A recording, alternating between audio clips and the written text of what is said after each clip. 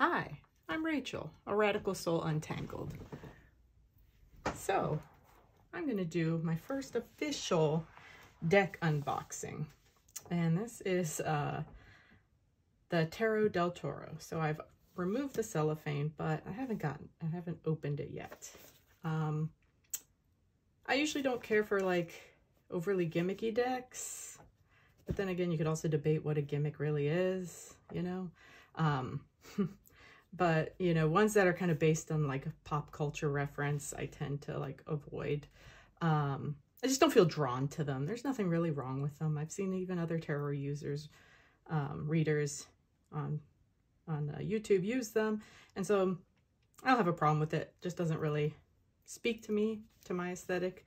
Um but this one sort of does I also usually don't like very dark occultish ones but this one kind of blends the aspects of shadow that I do like with one of my favorite directors, Guillermo del Toro.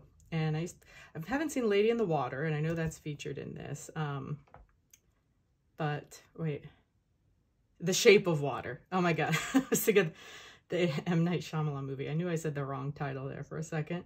Um, I haven't seen that one, but I um, seem like I'm interested. I hope Devil's Backbone and um, Cronos are in this, as well as, of course, like Pan's Labyrinth, I'm sure is like huge in this. Um, yeah, because like The Lovers is from The Shape of Water. And yeah, it's going to have the Devil's Backbone because there's the bomb. So, one, and, uh, and there's Ophelia. And so once I saw that, um, I, I, I don't know. And also just like the play on words, Tarot del Toro. So um, like the art, you know, the, the wood carved look. So anyway, here goes. Oh, let's see, we've got designed and carved. Oh, so this is like a real wood carving, I suppose. These were really printed off of wood carvings. Got raven there. And I'm a little rusty at inspired and supervised by Guillermo del Toro. That's pretty cool. Okay, and that's the device uh, from Cronos. I'm a little rusty. I haven't seen his movies in quite a while. Um, so, okay. So we've got um, that mandrake root from Pan's Labyrinth that was under her mother's bed. Uh, and Guidebook, inspired by the world of Guillermo del Toro. Written and illustrated by Tomás uh. Hijo? Yeah, Hijo. I'm I'm half Mexican, but I barely know any Spanish. so, um, yes, there's that. Um, okay, we've got introduction. Summer of 2018. Okay, is that when that was first printed? Okay, I like that illustration there. Oh, I like that already, the um, Ace of Swords, but... All right, so introduction, the major arcana. Huh. There's a demon for the fool. All right. Yeah, okay. Well, so I like the guidebook. It actually prints like a good sized color printing. I like the parchment paper. Oh my god, there's even stuff from Pacific Rim in this. Okay, all right, I'm getting ahead of myself. Um, too much time on the guidebook. So, all right. Ooh, I like the box. I like. I always like when they put the little pull-up ribbon there. That's nice, and that's a really nice inlay. It's not um, a little buffer there. I like the printing on it. You got the hand, the tree, the, the skull, leaf. Okay. Oh, I do like that. Definitely will keep this box for it. Um, yeah, it's nicer than the usual cardboard insert. That's just like a solid color. And, uh, and it's usually for a much bigger book. I like the size of this deck box. I like the more compact deck boxes. I really don't care for the oversized ones so much. Um, sometimes I just get rid of them altogether. But all right, so we have Ace of Discs. So it looks like we have discs instead of coins or pentacles. Um, Looks like that's from like the Hellboy movies. I'm going to probably be really bad at this. Like I said, I haven't watched the, his movies in a long time. I just know I like them. see, we got Ace of Pentacles, or discs. Okay, they're like gears. Oh, that's cool. Oh, this is so, it's kind of like um, a Marseille deck. Oh, that's nice. I Because I've been looking for a different kind of Marseille deck since I got um, that cheapy one from Half Price Books. I've been looking for something like this. It's kind of neutral for the minors. Um, but I, I like this. Still has a good illustration for like the ace, you know, um, like that little goblin there. Uh, oh, I love the backs. Okay, that was also in the guidebook, but oh, I like the backs. Okay, yeah, I think that's that Cronos device. That was one of my favorites. Um, I really did enjoy that movie. So there's that. Okay, so we've got two. So I kind of like that. It's like a Marseille deck. That's really cool. Like I said, I was wanting a Marseille deck that was a little more aesthetically pleasing. I'll say that. Um, okay, I got four. Um, yeah, because that other one that I got, um, you know, it wouldn't be so bad if the colors were just printed more carefully, more precisely. Um, okay, there's the five, six, seven. Okay, I like how they make it kind of easy to, I like how they laid it out so that's easy to count. But interesting new patterns, so not just the, I like that bias there on the bias. That's kind of neat. And 10, it's, it's just loaded on there. That's pretty cool. All right. Oh, valet of discs is what they're calling this, as opposed to, um, guessing, page instead of page or, um, let's see, princess, uh, valet of discs. Okay. Um, yeah, I'm going to be really bad about picking out which movies some of these are from. Uh, Knight of Discs. Okay, that's cool. Oh, wow, he's like smoking. That's interesting, the smoke elements in there. A little red. All right, Queen of Discs. Okay, I've got insect with her nest. I like the eggs around her. She's holding onto the disc. She's got her nest. Oh, let me go back to this guy here. So his steed is holding onto a disc there. All right. She's got her eggs, so there's that abundance for the Queen of Pentacles kind of energy. And King of Discs. Um, okay, so you can really only just tell it's a disc on his chest, uh, but it has so much fire energy and smoke too. So um, I like the insect on his shield. That's pretty cool. It's kind of like a heart and feathery wings and a skull. There's so much going on there. Oh, I really do like the detail. King of Discs. But yeah, it's like, without that, I would almost assume this was like King of Wands or some fire energy there, or even air for the smoke. But I would assume this is like a, has a lot of fire energy for being pentacles, coins, discs, um, uh, earth energy. Go. Ace of Blades. Okay, so it looks like we're doing blades instead of swords. Again, a lot of just fire energy all over this deck. Okay, I don't mind that. Um, all right, that's pretty cool. All right, two of blades, three. I like, oh, nice for the smaller ones to make room, he uses knives. Okay, and that reminds me of the knife from uh, Pan's Labyrinth that she used to uh, cut open the fascist general's mouth. That was one of my favorite scenes. um, yeah, okay, as it gets, uh, that's why I say blades instead of swords, because they have to get some, a little smaller, a little more compact for the higher numbers. Clever. Oh, that's very clever. That's very clever. I like that. I like imaginative designs there. That's pretty. I like with the larger sword in the middle. There's the 10. Okay. Valet of Blades. Nice. Mercedes from that. Okay. Yeah, that's she's perfect for that. And we got a lot of like smoke and clouds behind her, so kind of like air energy. Although I know why they chose it for blades because of the scene I mentioned, but this has such an earth energy to it. I would I would have also made her like the valet of um, discs, but um, so it's very nice grounded earth energy. You know, food, um, you know, garden wall behind her. But you know, I know why they made blades. It's still clever. I don't object to it. I just uh, I just pick up a lot of earth energy in that card. It's it's interesting how the elements are kind of mixed, intermingled. It kind of reminds us how things aren't so stark. Or I think this is that bad guy from uh, the Hellboy movie. No, not the bad guy. The good guy. Um, oh my gosh. The cloud, the guy that's vapor in a suit. I haven't seen him in so long. Ah, I, I should have watched the movies. should have watched all half dozen movies or more before doing this unboxing, I guess. But that's cool. The horse, his knight, uh, or his steed, has the mask as well. Again, a lot of red, but we see the little vapor trails and um, blades, uh, swords is air energy, and this dude is just vapor. So, oh, that's very clever.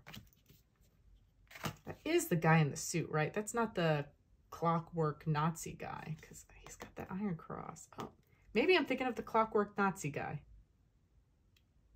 Anyway, all right, won't take too long with this. Okay, Queen of Blades. Well, that makes sense. oh, she's lost her head. Wow, that's cool. That's interesting. That's a good visual, interesting way to interpret that. Suit. Um, hmm. Crown is on the ground. Okay, interesting. King of Blades. Okay, wow. So, like, Wow, death, basically. He's got the scythe, skeletal figure. Wow, grotesque, really.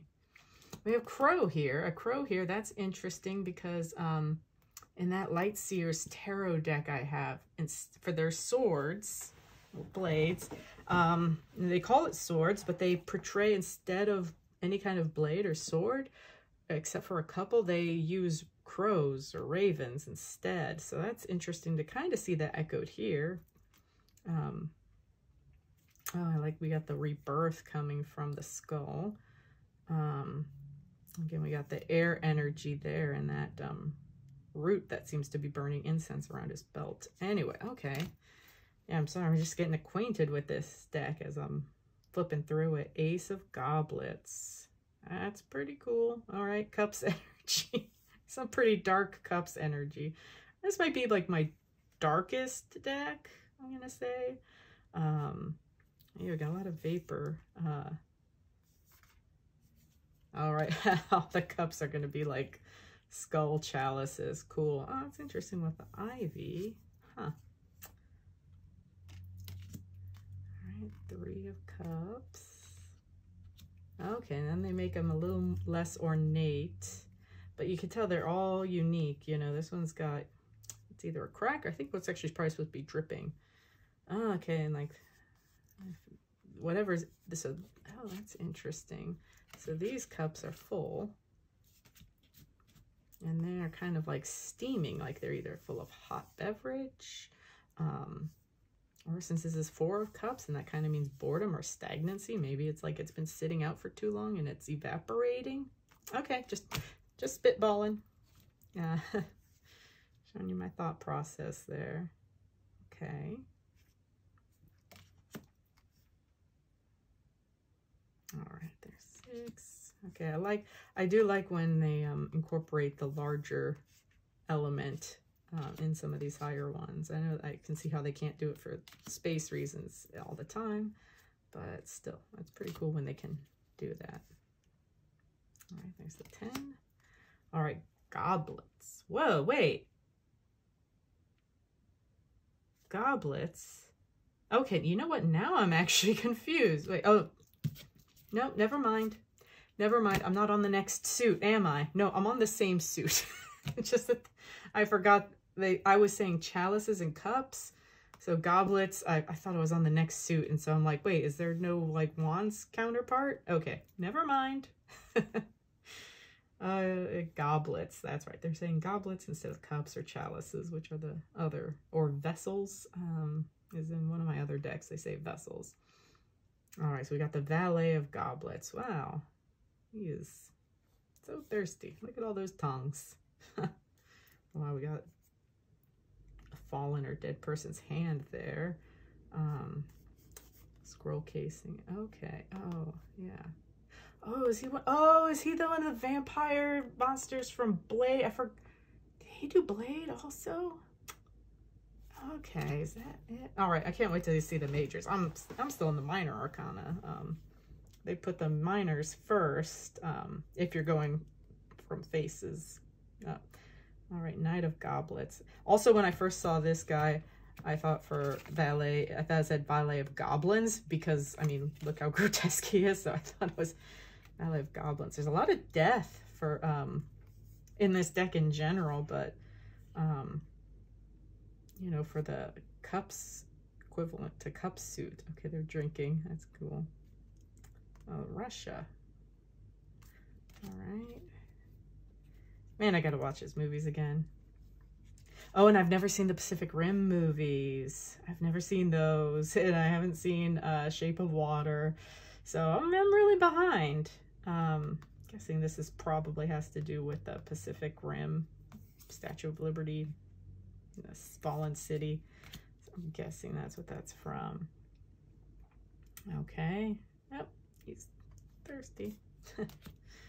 All right, wands. All right, so wands are going to have... I like how he went back to the, the very classic design for the aces, you know, like um, most of them having like a divine hand holding it up. Was it like that for the er, goblets? Um, go back to the goblets one. I already forgot. Blades. Okay, yeah. Oh, and this one, it's one hand passing it to another. So not so much like a divine hand or like just a pass, or probably not the same person. Probably one passing to the other. So I'm guessing the cups are kind of reminiscent from like Blade, the vampires in Blade. Um, I'm also starting to remember that Simpsons, Guillermo del Toro uh, Simpsons opening from a few years back. That was fun. And yeah, like I said, I couldn't quite get all the references from that one. Um, but most of them. All right, so we've got Ace of Wands. All right, so he's sticking with wands. Seems like they call everything else something else. I'm almost surprised they didn't call it like batons or bludgeons or fire sticks. Or I'm surprised they didn't stick with fire, but oh, that's that's nice. More like little like little switches. I'll say so. These are sort of like the same leaves from. Okay, so we got two different leaf types. All right, and these ones are in the cups suit. So they kind of harken back to each other. That's pretty, just different shapes and sizes.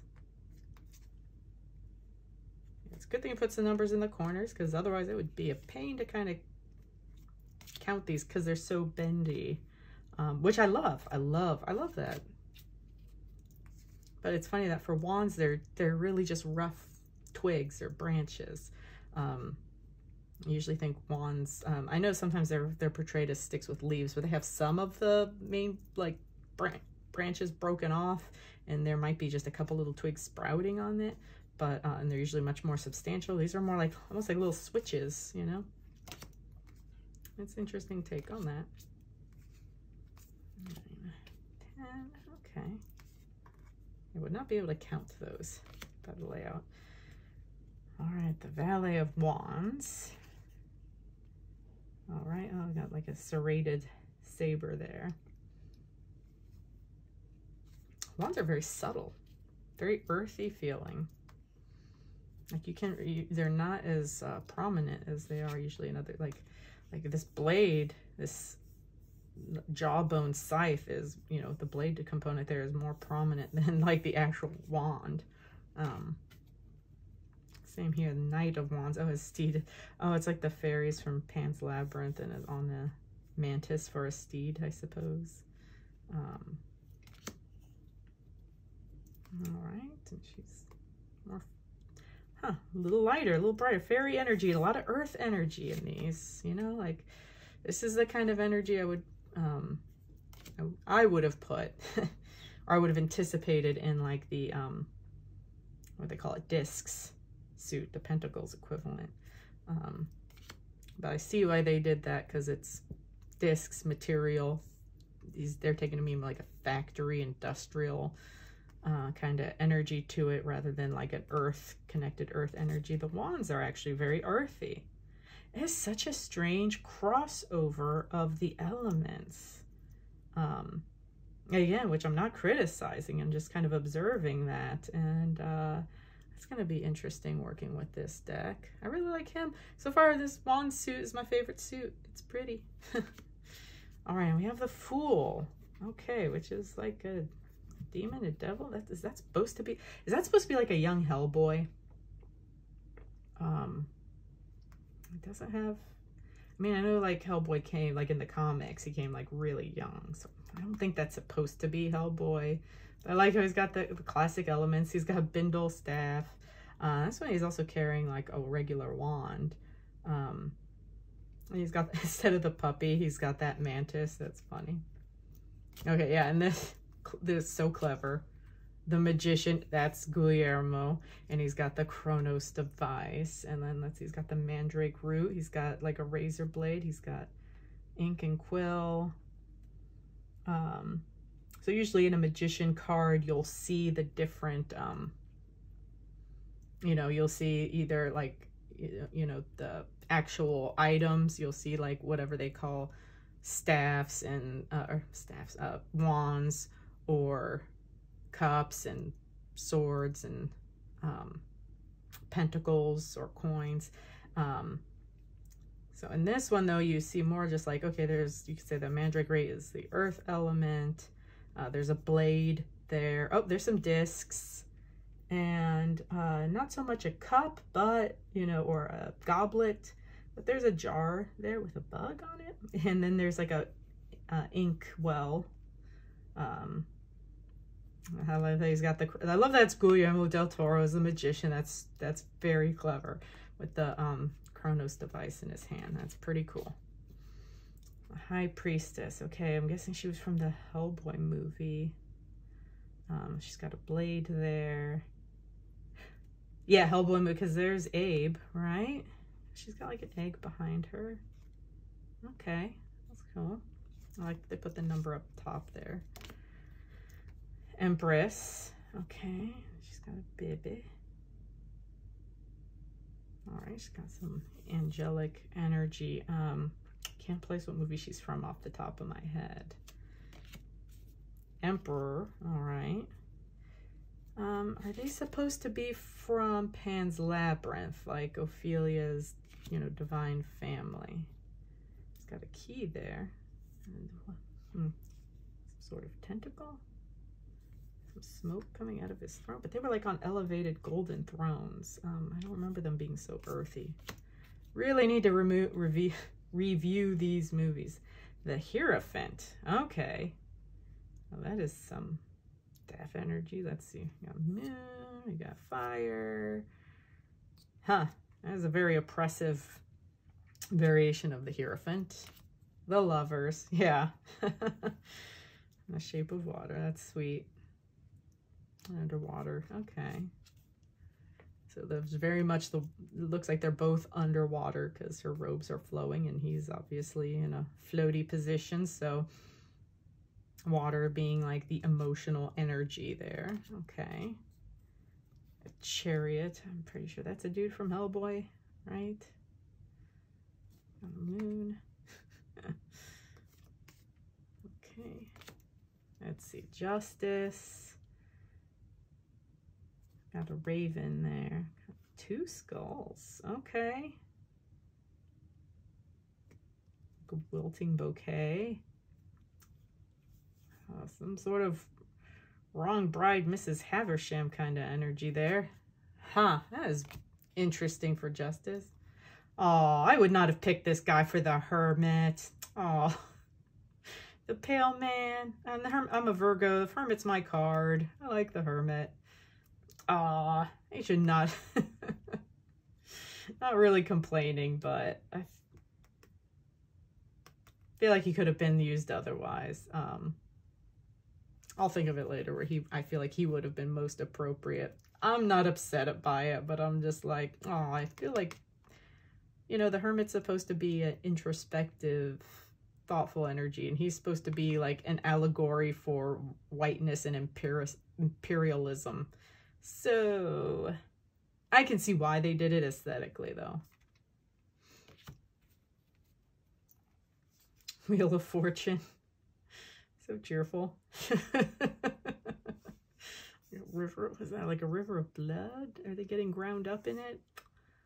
Uh, like I said, this is my darkest deck. Oh, I kind of love this guy from the Hellboy movie. I like, uh... Okay, I like it. Okay, strength. I, I can see, I, I can see it's definitely the more brute force version of strength, but he gets like crushed in a machine, so he's not that bright. Um, oh, that's from the Devil's Backbone. The, the hanged, not the hanged man, because oh, you can see the spine of it. Oh man, I'm getting like chills just looking at this. Not grossed out, just like just this feeling of such like a dark energy to it. Like I said, I love the aesthetics and everything, but oof. this isn't going to be one of my go-to decks, but this will be fun to play with. Okay, they didn't even label it death. It's just like, come on. But you know, I'm almost surprised because so many other things could be labeled as death. There's so many other deathly characters, even with scythes. So it's kind of like, come on. Doesn't necessarily speak for itself. Luckily, those other ones are labeled, so it's like process of elimination. And it has um that reprise from that um Marseille deck. Um, that's right, because the the um, miners are formulated like a Marseille deck. So that death card has, you know, dismembered, you know, body parts, arm, hands and feet and everything. I like that there's beheaded royalty there, showing that, like, you know, things shall pass. Oh, look at the volcano is an interesting touch in the background. That death is blind. That's an interesting touch. That Death has no bias, really. Oh, but the wings can see. So he just can see where to go. Sees where he's like needed and called, but he's not he's not seeing with his mind and making judgments. He's seeing with his wings that propel him, guide him, tell him where he needs to go. Okay, so that was okay, that came through kind of powerfully. Temperance. Okay. Uh, I can't place where that what movie that one would be from offhand. Oh, huh.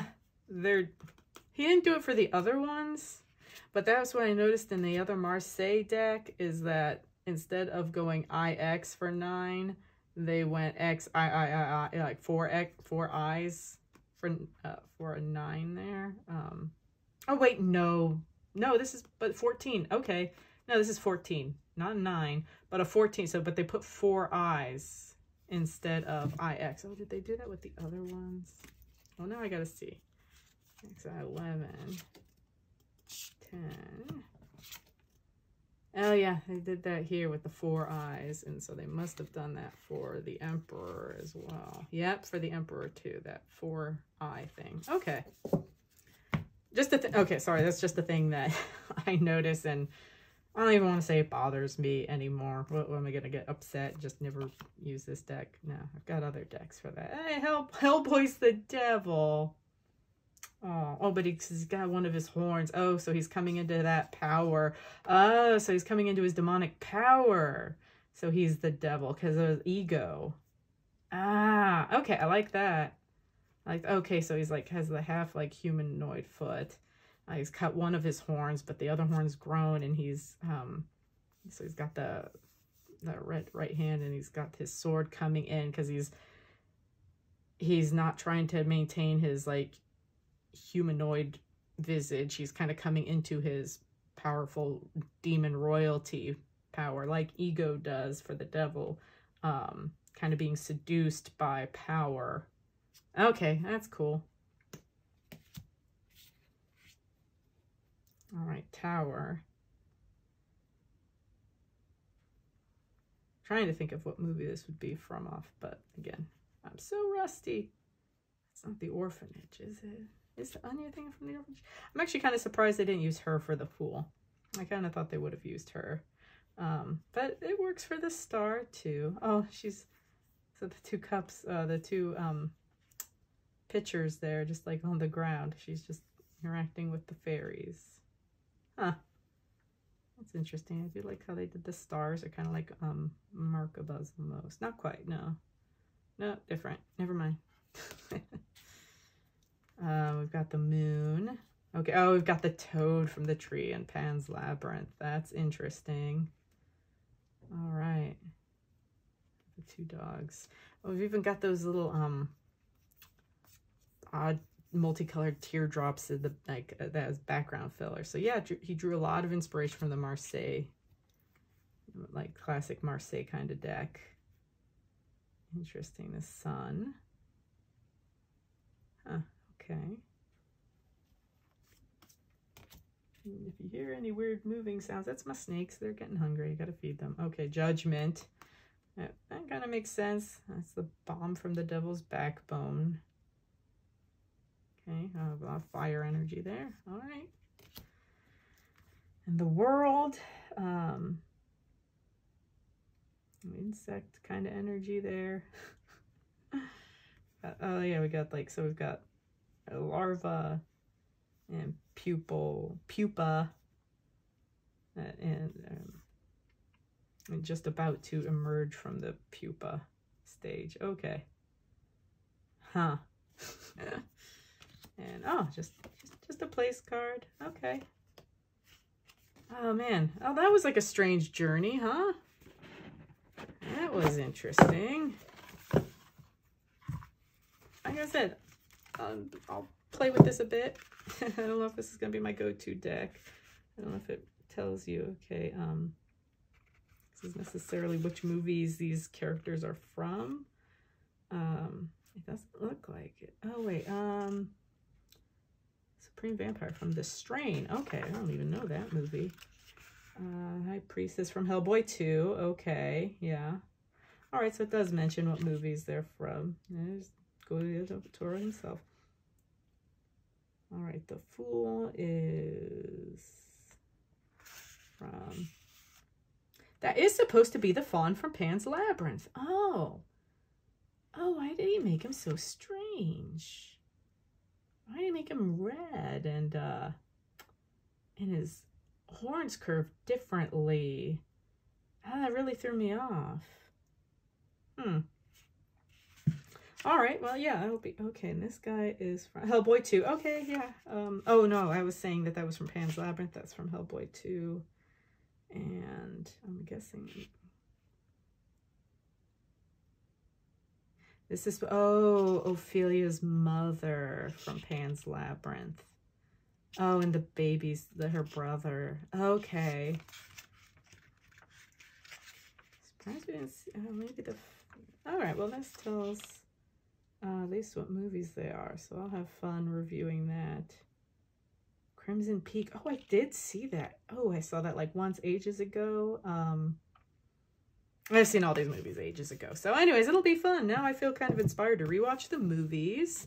Um, it is a lovely deck. I like, I, I, do like the aesthetics, although I tend not to use very dark energy decks. Um, they, the, which, but they're, you know, good. They're very worldly. Um, very interesting, the kind of blending of elements in these that, you know, um, so like I said, there's a lot of fire energy in this disc suit and uh